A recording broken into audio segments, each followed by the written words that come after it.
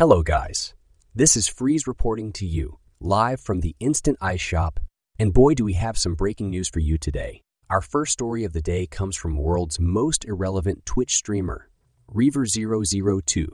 Last video, we showed a peaceful protest in his stream and got into a heated debate about our motives with him in the comments section of the video. That is not it, however. It has been revealed that Reaver attempted to fake Discord messages to make me look like a Pate Doe file. It started in the Justice for Freeze community Discord server when someone with an anime profile picture, already a red flag, posted pictures of what was inspect elemented to be me talking with the ANI May picture person who said that they were 13.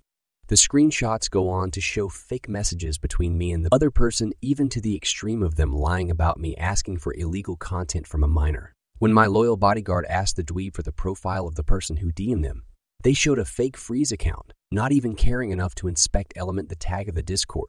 The profile in the screenshot showed a corporate Clash Freeze profile picture, already debunking the whole situation. But when my bodyguard added the fake Justice for Freeze tag shown in the picture, the profile picture was different and the name was Reaver. That means that Reaver changed his Discord tag, username, and profile picture to look like mine, screenshot it, and then change it back to his original one, hoping that no one would see. We caught him, however. How despicable. Trying to slander my name with pedophilic accusations. You will pay for this Reaver. Now let's take a look at Reaver, also known as Tyler, and the one video on his channel.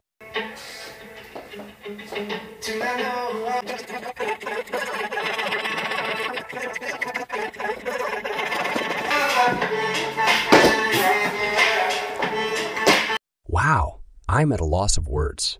Can we take a moment to respect the lack of employability, as well as muscle mass it requires to be spazzing out in your living room like this for nine likes? Horrifically pathetic. Hopefully, within the last six years, he has shaved off that disgusting ginger neck beard. Enough of that heinous topic. I've invited a special guest onto the show who had a word to say to Tyler. Please welcome Judge Judy. Thank you to Freeze for having me on. I sentence you, Mr. Tyler Reaver, to a hundred thousand calories, you pathetic and skinny tree branch. You should rethink your for life decisions, you lanky bum. That's it back to Freeze. You heard it from the judge herself.